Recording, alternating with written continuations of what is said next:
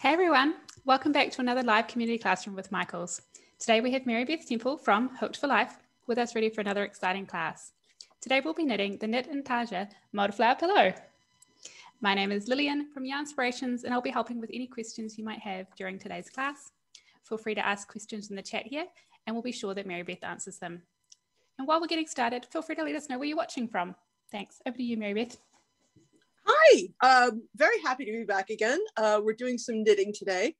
And uh, we are going to talk specifically about this project, but the bulk of what we're after so far is what we're going to learn in this video today is Intarsia style color work, sort of the difference between Intarsia style and Fair Isle.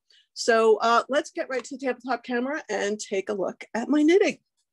All right, let me make it a little bit brighter for y'all.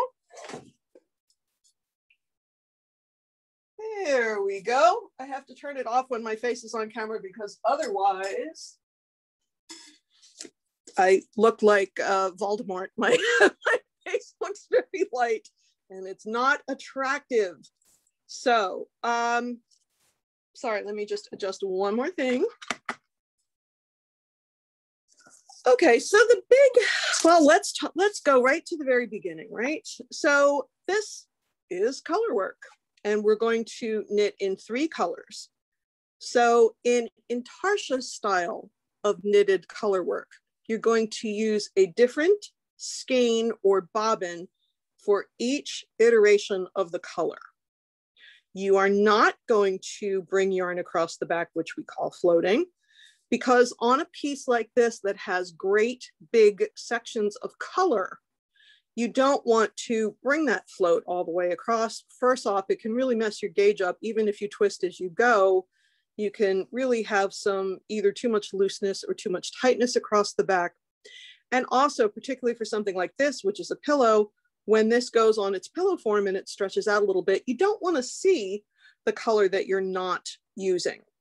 So we're doing intarsia style. But again, all that means is each time a new color comes up, we're going to have a separate skein or bobbin.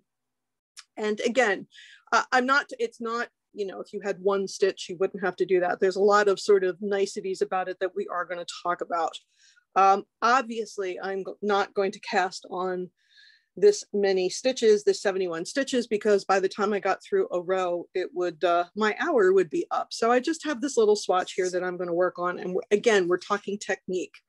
So most times for color work, you'll get a chart.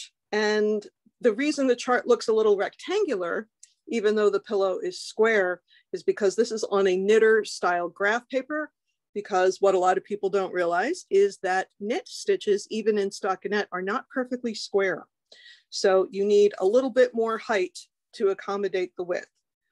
Generally speaking, uh, if you get five stitches to the inch, you might get seven rows to the inch. So you need extra rows to accommodate the width. So don't panic that the chart is not square. Your piece will be as long as you're getting gauge. The other thing I want to talk about with charts, must, much like when we are on here doing stitch charts, we're going to go right to left. We're going to read right to left this is provided you're right-handed, of course, it's vice versa if you're left-handed. So you're going to knit right to left on the odd numbers rows, one, three, five, seven, nine, 11, etc. And when you're working the other rows, the even number rows, you're going to read left to right. And that is because we're knitting flat. And when you turn the work, you have to come in from the other side where it's not going to work so much. Another thing that's very common with these charts that will help you count when you need to count, because again, with Intarsia, we're knitting large blocks of color. So sometimes you have to sit and count how many stitches you're going to have to knit, and it might be a sizable amount of stitches. It's not going to be two or three like it might be for Fair Isle. The heavier gridded lines mark off a box that's 10 by 10. So if, for example, I wanted to count this row right here, I could go 10, 20, 30, 40, 50, and there's one hanging out over here. So that would be 51. So I don't have to sit here and count every single block. So having those marked out in tens really helps you uh, helps you count how many stitches you have to do. The other thing I want to talk about when you're doing a chart like this, sometimes if you're looking at this whole chart and you're trying to knit a particular row, it's really difficult to figure out what row you're on. And a lot of people were taught to put a card or a piece of paper and cover the bottom so that you know that you're knitting the row that is right over the paper. What I'd like to encourage you to try instead is go from the top down, put your paper above. And the reason is this, as I'm knitting, no matter what row I'm knitting, not only am I counting, but I'm looking at the number of stitches that I have and placing them in relationship to the stitches below. If I put my paper down here, I've covered them. It doesn't really help me. My count might be great, but if I started in the wrong place, if I've made a tiny little error, I can really go to town in the wrong place without realizing it. Whereas here, for example, say I was knitting this row right here, I'm going to see where those blue stitches are in relationship to the other blue stitches. And so if I'm knitting across and I notice my blue stitches are over here and not over here where they belong, then I know that I have made an error. And obviously it's far easier to uh, correct an error when you're very close to it, as opposed to when you're 10 rows behind it. So I recommend that you put that little piece of paper on the top and then make it so that you're knitting the row that's closest to the piece of paper. There are other ways to do it. Some people like to just check off rows in pencil, et cetera, et cetera, et cetera. But for me, with 71 stitches in the chart and uh, 90 rows, I'm going to really lose my mind if I'm trying to guess. if I'm trying to guess what row I'm on. Also for this piece and for a lot of color work pieces, we are working in stockinette, which is knit on the right side, purl on the wrong side. There are other ways to do color work, but uh, that's what we're doing today. The next, I know I'm not knitting yet, but these are all things that will help you on your little journey in Intarsia. The next thing I want to talk about is bobbins. Now, um, there are a million different ways to use bobbins. There are a million different bobbins, but go to Michaels, grab yourself a package of bobbins. I have to be 100% honest.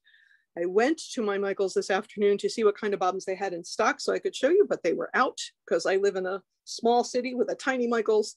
Uh, these are ones that I just had laying around from a big project I did last year. Uh, but they don't all look like this, but I do like the plastic ones because they snap back pretty easily. But I have used, uh, again, I was, I made this insanely complicated 22 bobbin knit blanket last year. And I kept having to buy more of these. And before they got delivered, uh, you know, during the pandemic, I literally cut a, a little X shape out of cardboard and used cardboard. You need that split to be there so that the yarn can move freely in and out as you knit it. You want to unwind it. You knit the next section, you unwind it. So again, no matter what brand or style of bobbin you have, you're going to have that little split there so the yarn can come in and out. Now, there are instances, and we will talk about it when we get there, there are instances in which you can work right off the skein of yarn, and you can certainly do that. You don't have to wind a bobbin for every single color. For example, again, talking about this pillow specifically, I don't need a bobbin for that orange center. I could conceivably just knit right off the ball or the skein of yarn because it's only in the center. It's not like there's orange here and then orange there and then orange there and I'm going to need extra sections. It's only ever going to be here. So if I wanted to just use the ball of the yarn for that, I could.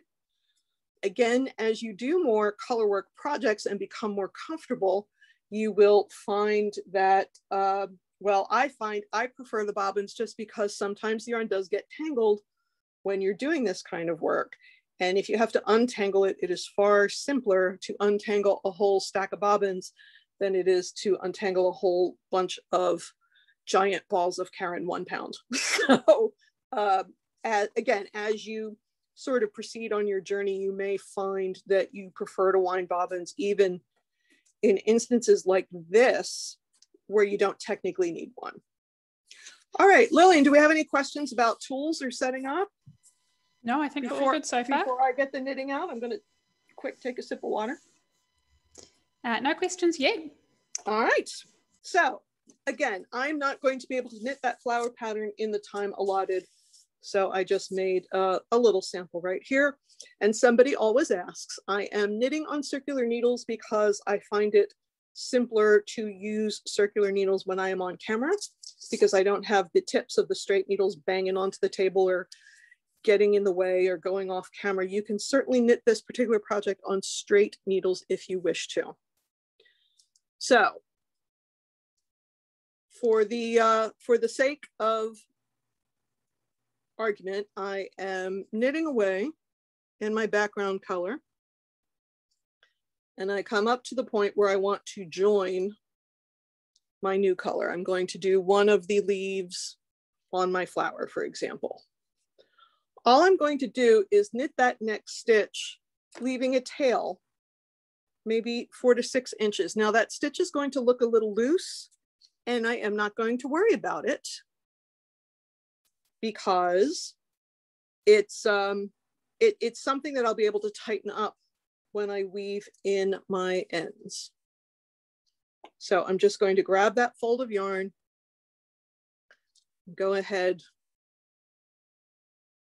and knit a couple stitches. Let's do three.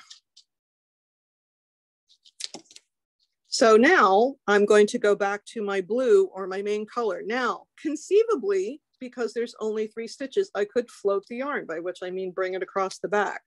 But since I know that I'm going to have far more than three yellow stitches in my next row and the subsequent rows, I'm gonna go ahead and add another bobbin right now because I may as well start as I mean to go on. So here's my next bobbin. Once again, I'm going to uh, just pull up a fold four to six inches in from the end. I can tighten it up when I weave in my ends. Let's see. All right, and then maybe it's time for my second second petal.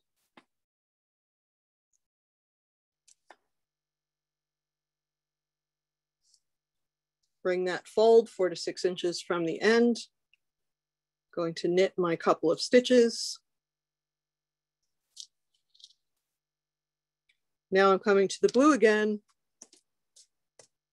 Here's the last bobbin.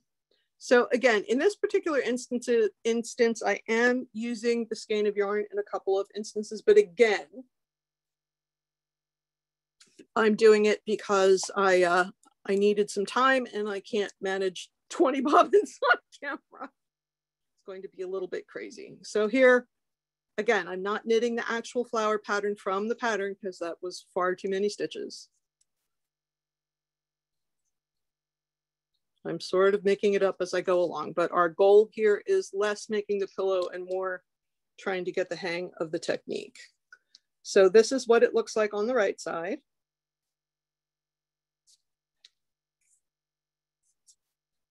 This is what it looks like on the wrong side. So here's my bobbin waiting for me. And again, they're sitting here because there's really no place else for them to go the way my camera is set up. If I was sitting on the sofa knitting or sitting in my comfy armchair knitting, they'd be hanging off the back of the work. But I can't do that here because they'll get in the way of the camera and that will make a mess. So here's my tails. And I'm just gonna leave them there. I'm going to uh, deal with that in a little bit. Do we have any questions before I move on to the wrong side row? We have a couple of questions about bobbins. Yes. Darlene asks, are there any guidelines on how much yarn to put on the bobbins, like one yard for X number of stitches? Uh, I know it wouldn't be exact, but um, I wouldn't want a bunch of joins um, if it's too short. I do understand that. For a piece like this, I mean, it's a sizable amount of yarn that you're going to need. So for example, I'm going to use this, uh, this bobbin up all the way up to here. And then depending if I'm going onto a right side or wrong side, then it's going to attach. I only need one strand of yarn here, right? I don't need two bobbins of yellow because they join. So honestly, in a project like this with a big giant color block, I tend to get, this is, uh, they call these jumbo bobbins. This thing is huge and will hold close to 10 yards. I would wind everything on here that I could wind, and you might have a join or two. Uh, but some of it is dumb luck. Sometimes if you're knitting intarsia style and it's just a small little piece, you can uh, you can figure it out pretty quickly. You know, you can wind, say you can wind two yards on all your bobbins, and then if you see if you have a lot left, because there are intarsia.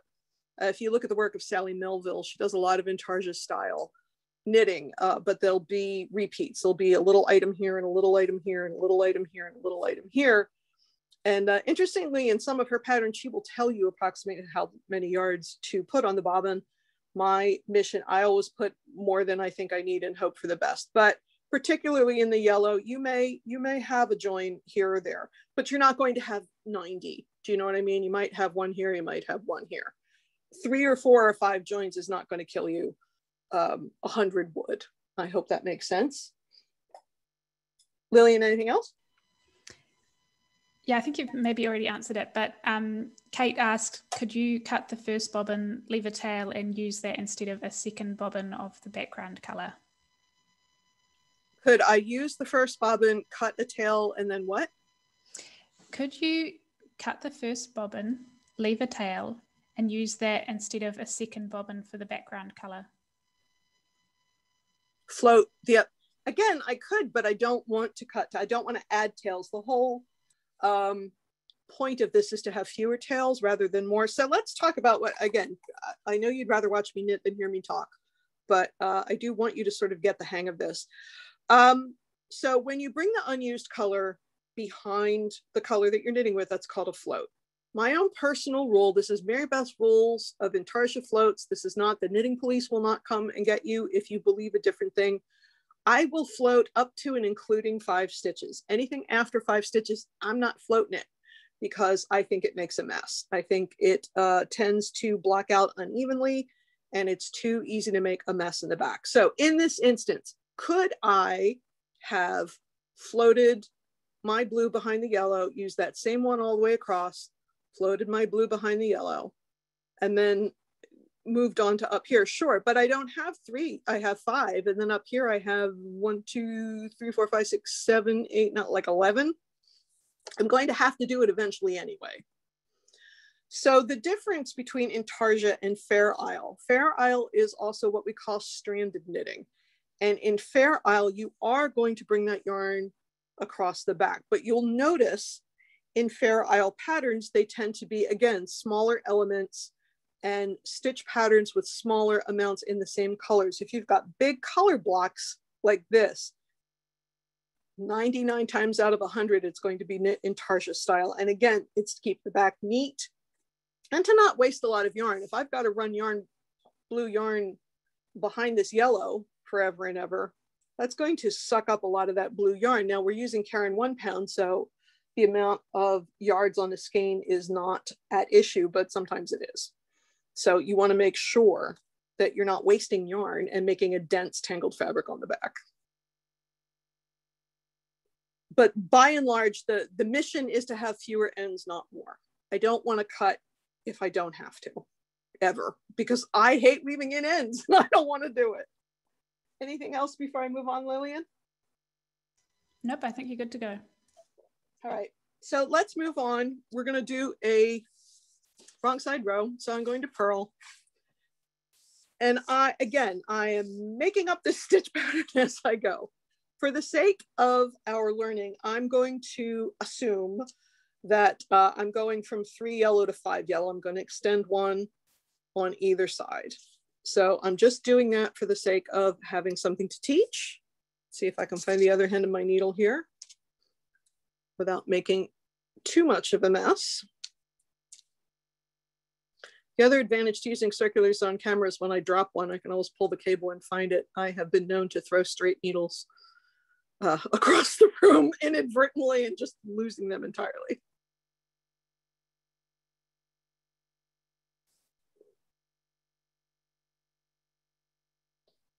So the next thing that we're going to talk about is twisting the yarn. And a lot of people get very confused by this.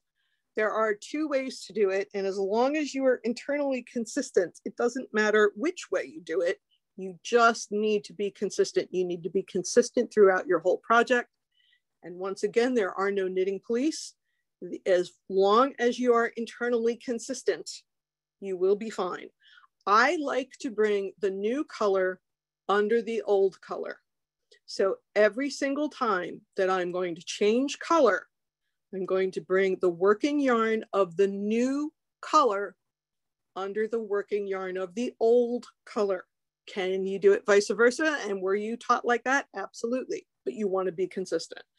So for me today, I'm going to do new under old every single time. So here's my old, and here's my new, and my new color is under the old color.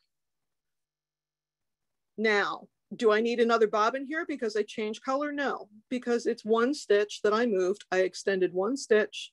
So we can go ahead and float that. There's the float. And we are not going to get upset about it one way or the other. Now, are some of these stitches acting a little loosey-goosey? Yes, but that's because they're attached to tail yarn. And when I weave in my ends, I'm gonna tighten that right up. So here I am, I'm going to, I want this color, I want this one to be yellow. Now, for me, new under old. Now the yellow is old. The blue is new. So my new color came under my old color and I'm moving on, living my little teal life.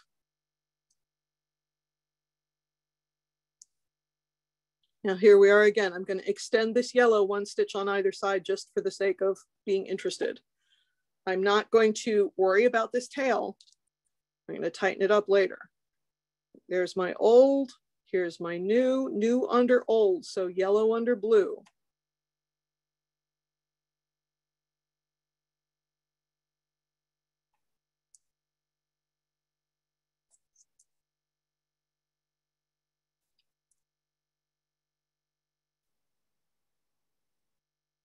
So you've also noticed I've had to get in my with my hand and, and give that a little tug. It, it's making the gauge even. You wanna make sure that all your stitches stay even. Now, blocking will eliminate a lot of sins. And I know that there are people out there in the world, I will never understand why, but I understand there's people in the world that do not like to block. Uh, stretching this on a pillow form is also going to hide a multitude of sins. But you do want to, as you're knitting, give it a little tug here and there to make sure that you don't have any stitches that are super tight or super loose. There's my new under my old. I'm going to purl to the end.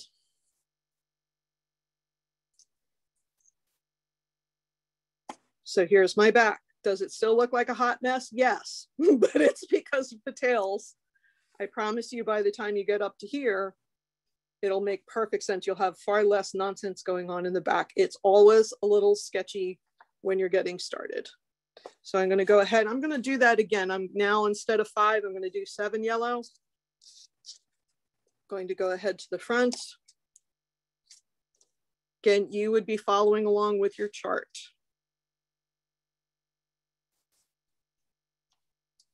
Okay, I wanna change color. So new under old, there's my new making sure I'm getting my working yarn and not that tail under old. So in this case, the yellow is the new, the blue is the old.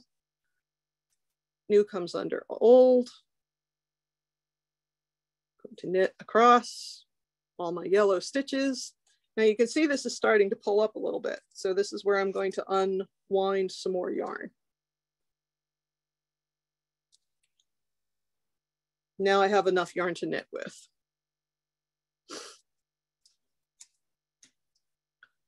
This is a really unfortunate angle to be trying to do this on camera. I apologize. It's not nearly as hard as I am currently making it look.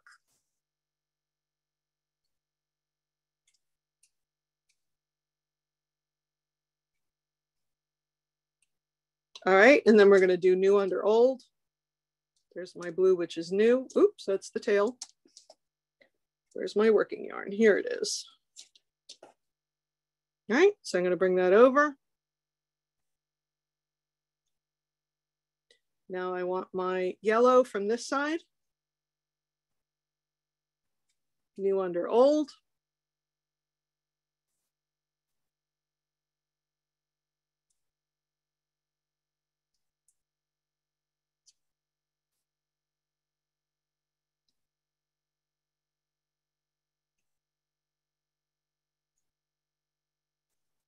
Here I am at the end, new under old.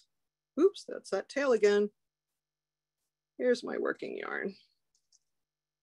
No, I'm sorry, it's the angle. There we go.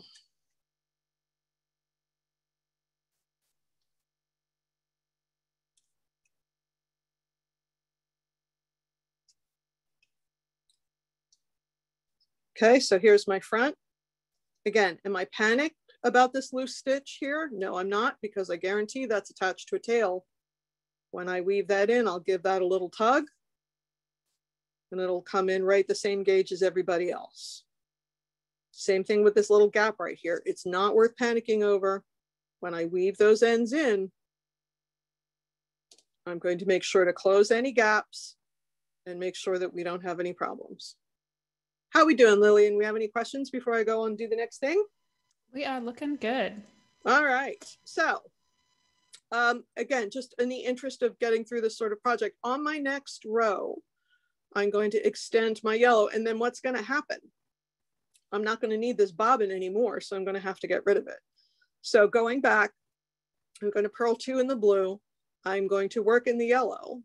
And when I get here, again, with the assumption that we're doing this kind of a thing, we're at this pointy part of the bloom, we don't need it anymore. I'm going to trim that out. I don't need it. And then I'm going to do the same thing with the yellow. I don't, if I'm, I'm headed in this direction, I don't need this second bobbin because from here on out, it's just one color in the middle until I get to up here. I hope that makes sense. So uh, let's, let's go in that direction a little bit.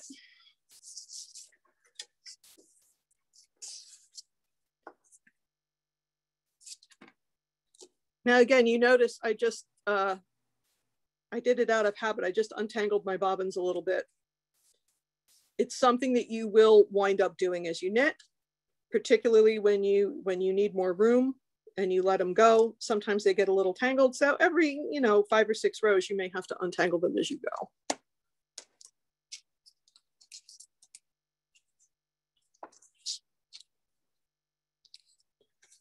All right, so I'm gonna do my two blue.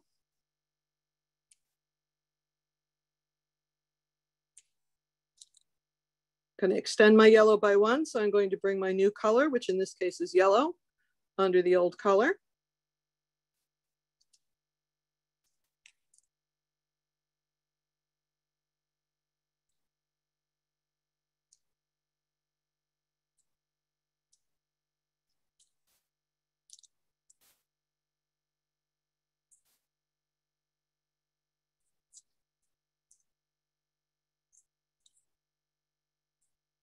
So when I get to here, I'm extending. So I don't need this blue anymore because I'm not going to use it. So I'm going to do sort of the reverse of what I did earlier. I'm going to leave a tail that's four to six inches so I can weave it in later. Now I'm going to cut the bobbin and pull it out because I don't need it. I'm going to need it later. I can set it aside. That yarn isn't wasted.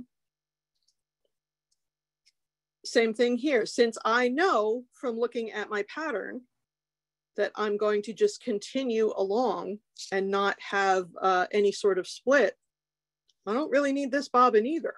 So I'm going to do the same thing.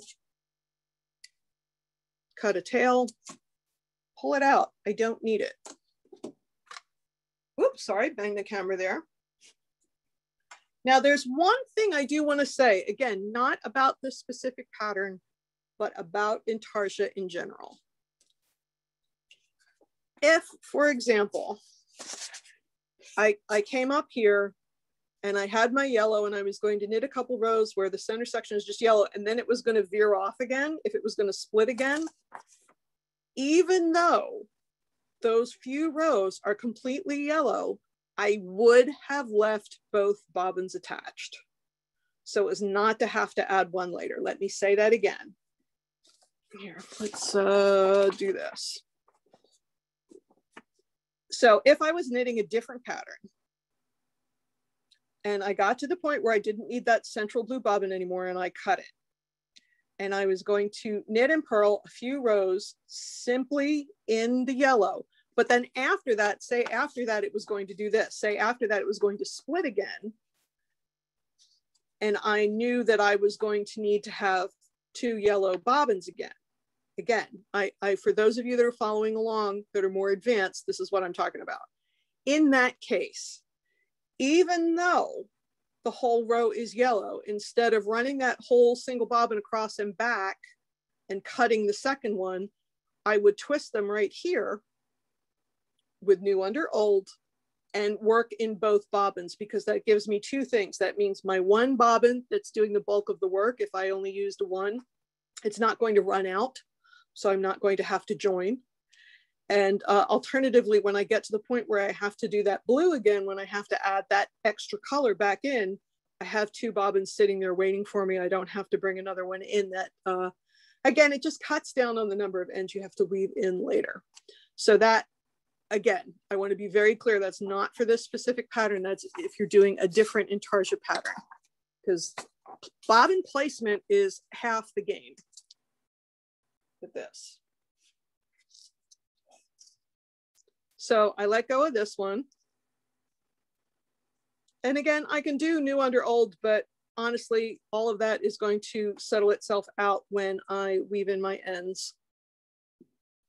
So I'm not particularly worried about it.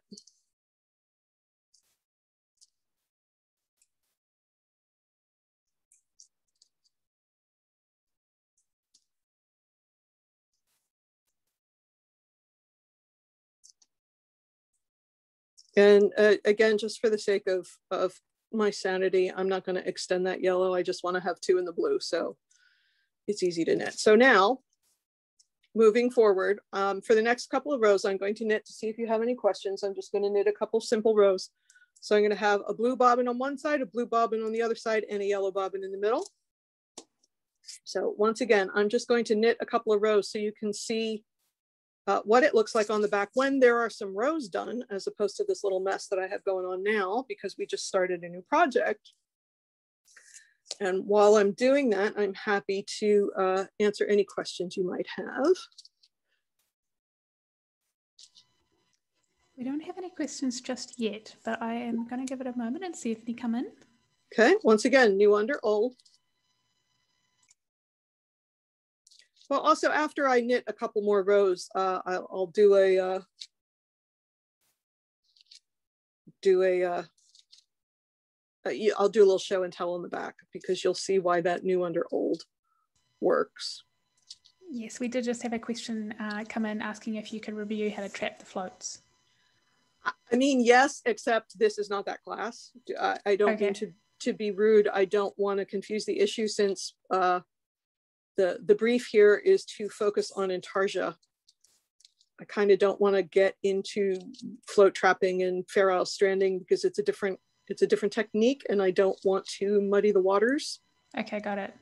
Uh, I do apologize to whoever asked that question. Uh, maybe Yarnspirations will book me for a stranded stranded colorwork class and, and we'll talk about that kind of thing. It sounds fun. I just don't want to muddy the waters. You know, a lot of people take these classes because they're learning, um, they want to learn a specific technique. And so I don't want to confuse.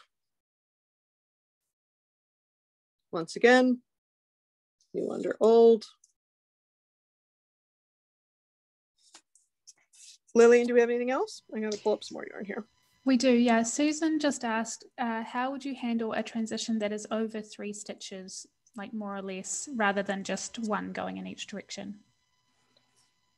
Um, again, I would float it. I would bring the unused color behind the color I was knitting with and I would do new under old. I would not worry about trapping floats for five stitches or less. That's what I was saying earlier about generally in an intarsia pro, pro in an intarsia project, I don't float more than five stitches. And uh, the reason is because I don't want to trap floats. And again, for those of you who don't know what trapping a float is and don't care to learn, that's fine. It's not a technique that we're, we're going to need in this particular project. Uh, it's a, a, matter of when you have a float that's over five inches, it's a technique about twisting the yarn so that uh, there's no ginormous strand of yarn hanging out the back. But in this pattern, it doesn't come up. The only place it could conceivably come up is in that first row where there's only three stitches in the yellow. The only place it could conceivably come up in this pattern is these two rows, uh, uh, these two sections, which is one row, and that section at the end. And again, I just, I simply wouldn't bother because I know I'm going to need the yellow later. If there was a section that was just three stitches of the yellow and then this was a different color, it was like orange or whatever, uh, then I would float, absolutely. But it, to me, it doesn't make a whole lot of sense to try and avoid placing a bobbin when you're going to have to do it in 10 minutes anyway. I hope that makes sense. Untangling my bobbins a little bit. There we go. And I literally, when again, when if I'm sitting on the sofa or I'm sitting in an armchair, I'm watching TV and living my life and knitting, I, I do let the bobbins dangle off the back. New under old.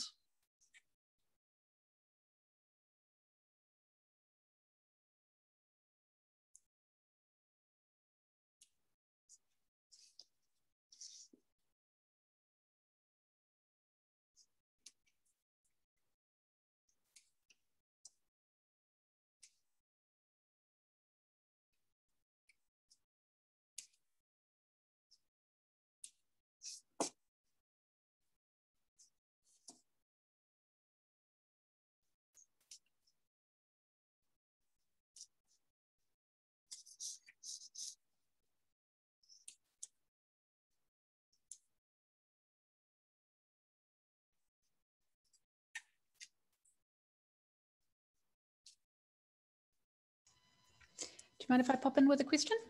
Uh, no, go right ahead. I was just trying to get to the end of this row and then I have more interesting things to say. So now's a good time, Lillian. Perfect. Uh, there's a question here from Jackie asking, you were saying you would use two yellow bobbins even though you're going across in a solid line. When do you in an instance where I knew they were going to, if, if I knew that color was going to split again. Okay. Yeah. Again, for this pillow specifically, I would not do that. I would do what I did, which is I'd go down to one bobbin and just use the one going back and forth. But in an instance where I say I did these couple of rows and I knew I was going to split my color again because it was a different pattern, then I would go ahead and leave the two bobbins. And again, I'm not trying to confuse the issue. The only reason I mentioned it is because in other intarsia patterns, not this one specifically, uh, it does come up. And a lot of people don't realize you can use two or more bobbins in the row, even if it's all one color, if it makes your life easier in the long run but that's the only way I would do that is if I needed to split later. And if I needed to split after a couple of rows. If, uh, again, now, all right, let's talk about this pattern specifically. When I get up to here, which is what I was gonna do in two rows, I am gonna need two yellow. Again, I'm gonna have to split my yellow, right? But that's a lot of knitting. So to me personally, I'm going to go ahead and do that in the one bobbin or ball of yarn. Maybe that's the uh, area that I have my whole skein attached. Maybe that's not a bobbin. And when I get up here, I'm going to add my second bobbin. If, all right, now I'm really getting crazy. all right, bear with me.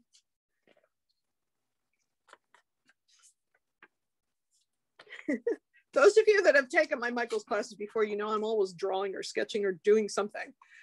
Um, say, for example, though, that was all the solid yellow rows I had to do before I was before I was going to split. In this case, this is what I was talking about. This is a case that I would use my yellow bob until I got here. I'd use my other yellow bob until I got here. Going back, I do the yellow bobbin. I do my new under old. I do the second yellow bobbin. And then when I came back here, I would add my orange. And the reason I would do that with only a couple of solid rows is because I know that there is a split coming. Now, could you do that with this many yellow rows? If you're knitting this pillow, you absolutely can, if that um, if that's how it works in your brain. But to me, that's a lot of knitting and I, I don't need that second bobbin. And to me, I'd just as soon add the second bobbin up there. The other thing is this, there's only so many yards you're gonna get on that bobbin. So maybe I don't wanna have to wind another bobbin. Maybe I wanna just use the one and then keep that second one to add up here. But that one is really dealer's choice. And I hope having that visual aid made it uh, a little more understandable. Lillian, do we have anything else before I go on to the next thing? Yeah, there's a follow-up question here from Michelle asking, do you have a minimum amount of rows you keep uh, both bobbins before splitting again versus using one for many rows? Again, here's the thing. There are no knitting police and you can split or not split as you wish. Is there a rule? Is there a no? Um, again, I know on a jumbo I can only get about 10 yards. So to me, if I'm going to use up 10 yards, I'm I'm going to not. I, I'm going to uh, just work off the one bobbin and refill that one bobbin. Uh, but is there a very specific rule? No, not really. There isn't. Anything else before we go on? No, we're all good. Okay, so this is the part that I was waiting to show you. Even when this piece is enormous, you can see that the colors are twining in and out of each other along the edge.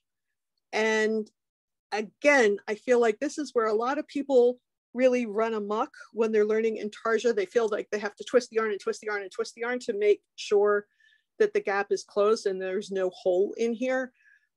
But using the new under old, every single time you change colors forms this little edging right here on the wrong side and it closes the gap.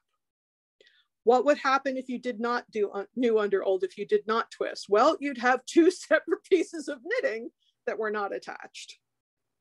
You know it's one thing when you're when you're extending colors on either side obviously that's going to hold together.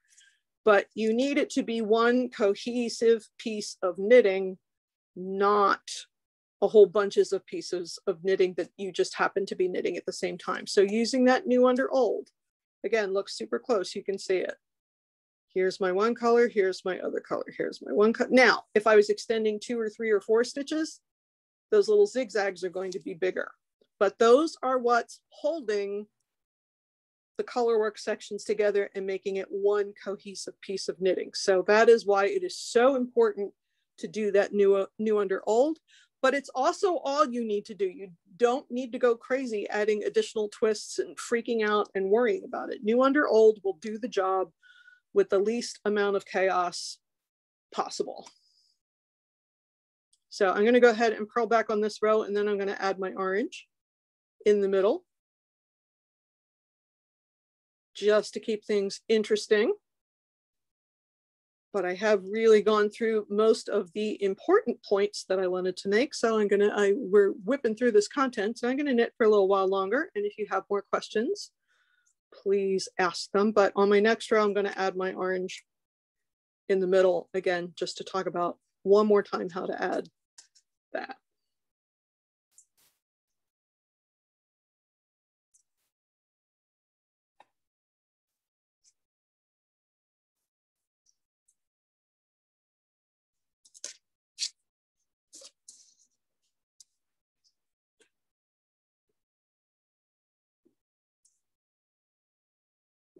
Once again, every single time I change color, new under old.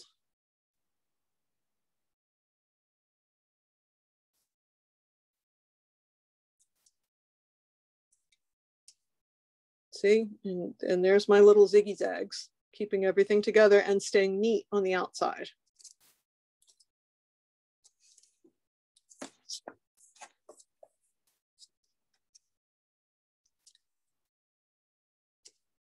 Give myself a little more yarn to work with here.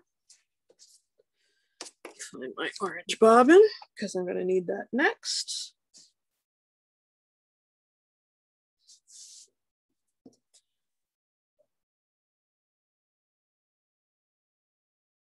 All right, so in this instance, uh, instead of extending the yellow, I'm going to make the uh,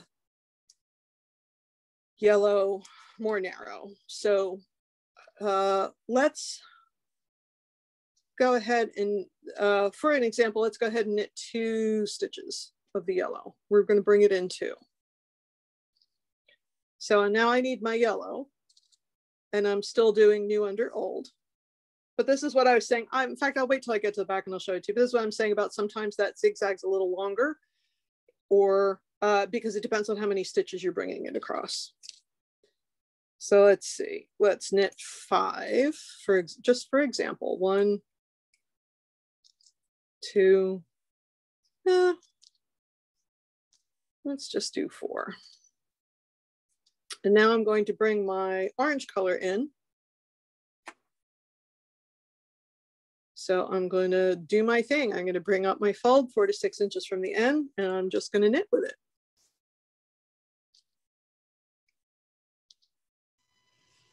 And here, making sure that you're knitting with the, uh, I made a little mess here, making sure with the that you're uh, knitting with the working yarn, not the tail, which is what I just did. So let's try that again. Here we go.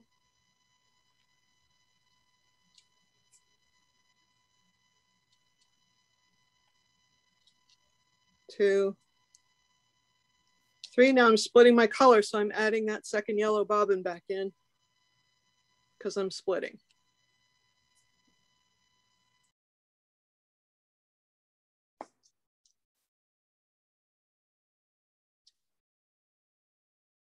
Again, technically it's new under old, but I'm not getting crazy about it because I'll tighten it up when I weave in the ends.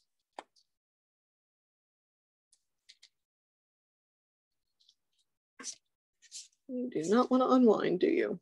They're far easier to unwind when they're hanging down the back. Again, I don't normally knit with them sitting on the table like this. I like to let them hang down the back. So now I'm going to uh, bring my blue all the way over because I'm, I'm getting rid of two yellow new under old.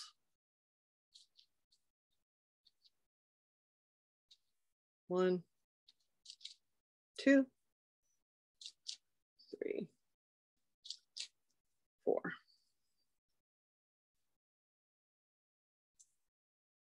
right, let's take a look at the wrong side row.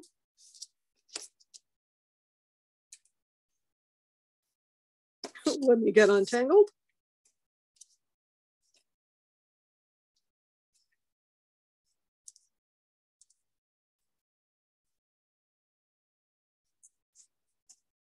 One, two, three,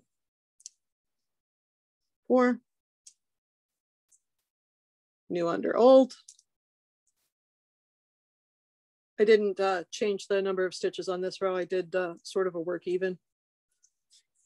Again, because I just think we have enough going on on this teeny tiny amount of space that I can show on camera. No reason to make us all crazy. Again, these stitches are loose because there's tails right there. I'm not getting excited about it. I'll fix it later. New under old. And I'll close that gap when I weave in the ends. New under old.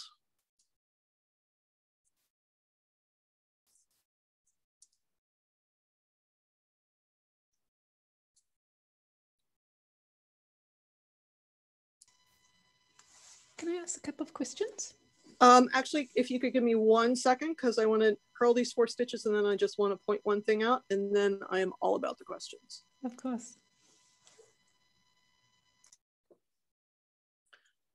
So here's my little ziggy zaggy here that went over two stitches. So my point uh, was that it is a this guy's a little longer than these guys, and that's because it went farther.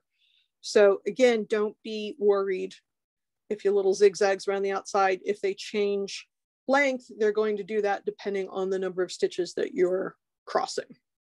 Now it's your turn, Lillian. okay, it's actually Kathy's turn. Um, okay. There's a question here. She says, is it easier to add a color on a knit row than a purl row? Um, honestly, I don't think it makes a whole ton of difference.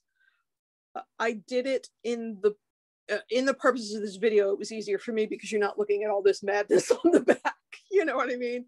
Uh, but yeah, you will add a color on whatever row the chart tells you to. And if you do it the way I showed you, in which you're just pulling up a fold four to six inches from the end, it doesn't matter if you do it on a knit stitch or a purl stitch. Okay, and there's a question here from Darlene asking, when adding a new color, is it helpful if you put a knot in that you take out later to keep it a little bit more consistent in tension? Uh, I struggle with weaving in uh, my ends of knitting and I'm afraid I might not tug tight enough. Huh. Um, yeah, if now I would absolutely undo the knot later. I am uh, one of the things I am a purist is about is I don't think there should be any knots in knitting or crochet.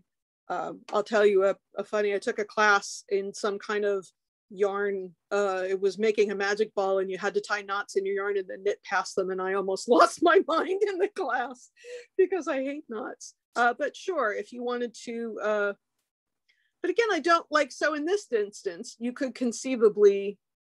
Okay, I'm really just punting here. You could conceivably see. I don't know what you would knot it to do you know what I mean? You wouldn't want to knot it to the working yarn because then when you took the knot out, that stitch is going to be too big. Like, okay, when you're adding, no, I honestly, I don't know what you would knot it to. So like here, this is where I added my orange, right? Because here's my tail. Uh, there's nothing to tie it to.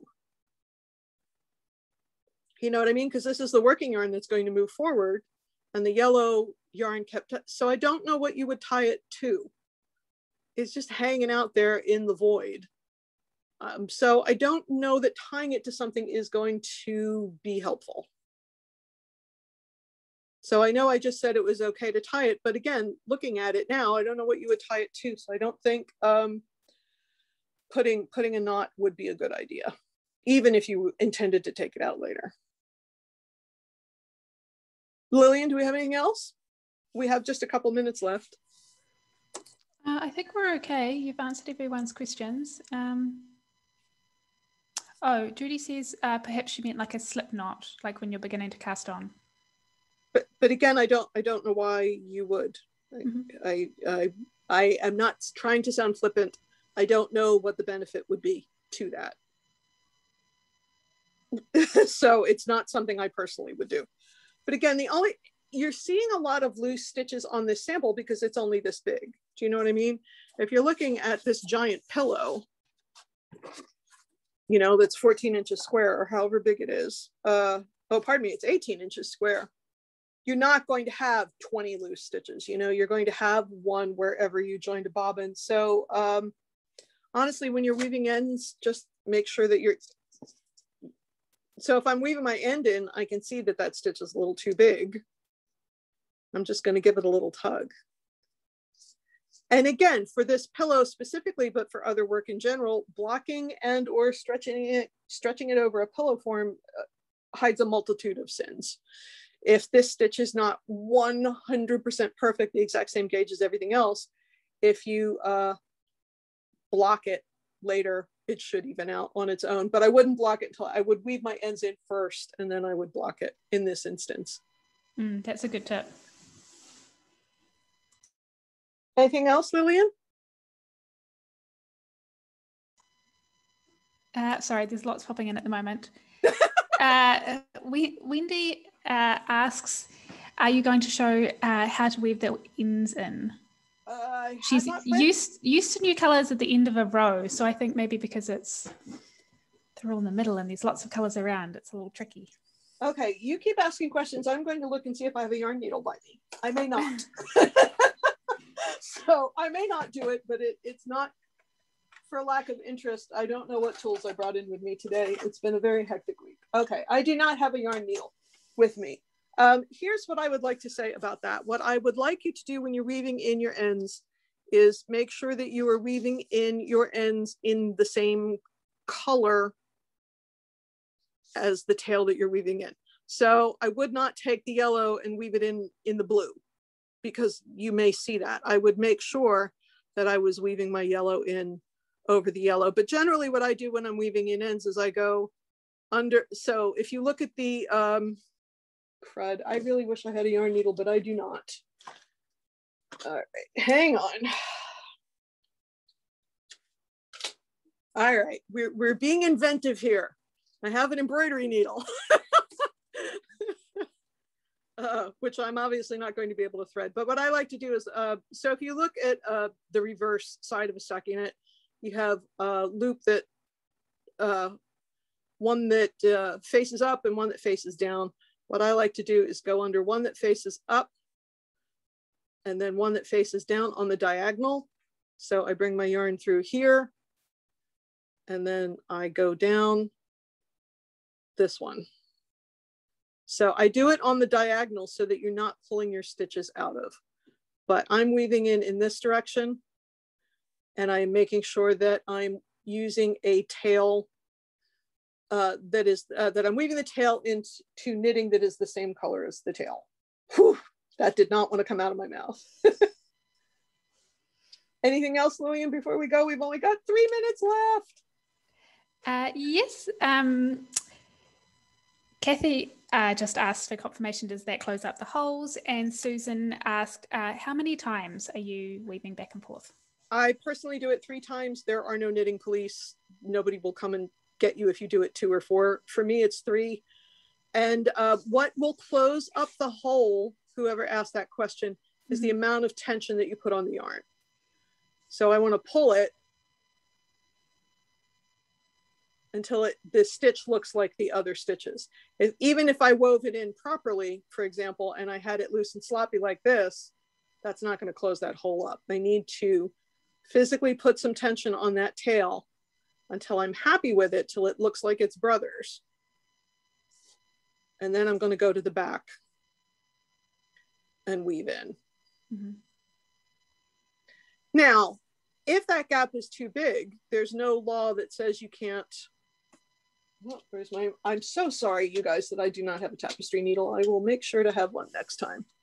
There's no reason that says that you can't bring that yellow up under this teal guy right here to close that gap if you need to. Do you know what I mean? If you have to bring it this way to close it, there's no reason that you can't and then do your diagonals up here on the yellow. Mm, but kind of like you're closes, continuing the stitch. Is that what you mean? Yeah. Yeah. But what it. closes the gap is the amount of tension you put on the tail. Okay, I think you've covered all the questions, but I just would like to uh, read a little bit of feedback. All right. Uh, Darlene says, I would like to thank you for today's class. I feel I have picked up a new tool for my knit toolbox. And well, Kathy, you. That's very kind. Kathy says, This is absolutely the best knitting class that Michaels has offered through the year. I like that it covered so much and that straight into, oh my God, topics didn't confuse us. Uh, there were so many little hints. Thank you so much. And Judy says, uh, nice weave technique, important. Uh, to a couple of the reverses so it doesn't work back out. Um, and uh, Diana also says, uh, thanks so much. We have wondered so long on how to do this. Tina said, awesome classes and sent you your heart. Oh, well, thank you so much. The thing with intarsia, like many other techniques, um, it's one of those things that you can read it in a book, but honestly, once you see it, it's so much easier when somebody just shows you. You know what I mean? And some of these techniques seem so off putting, and then you see somebody do it and you go, oh, well, that's easy. I can do that. And that's the thing with knitting, it is not brain surgery. You know, you can you can do it. Um, I, I will put one quick plug in here and say, uh, follow me on Instagram at hooked number four life LLC and uh, show me your projects. Send me, send me messages if you have questions. Uh, that's the easiest place to find me. You know, I have a blog and all that kind of stuff too, which I'm sure they linked, but uh, if you follow us on Instagram, that's the easiest way to get a message to me that somebody will actually see in a short amount of time. All right, I'm going to go back to my hello and goodbye camera to say goodbye, and then Lillian can do her thing. Thank you so much for joining me, you guys. Uh, next week I'm teaching sewing, but I'm, I'm here frequently. I have lots of great knitting and crocheting stuff to teach you, and I really, truly appreciate when you come by. Thanks for joining us today for this live community classroom with Michaels. And don't forget you can share your work with hashtag Make It With Michaels and hashtag Yarnspirations. And just a reminder that you can find more classes on michaels.com and the recording of today's class at michaels.com slash classes. Thanks for joining us and thank you so much, Mary Beth. Thank you. Bye.